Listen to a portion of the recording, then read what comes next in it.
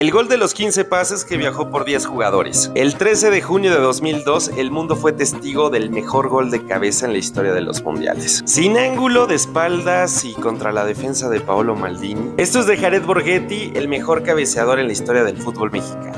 Talla M y lo tenemos en Mr. Jerseys.